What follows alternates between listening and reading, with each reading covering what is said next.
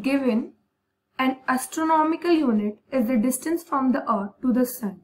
And 1 AU is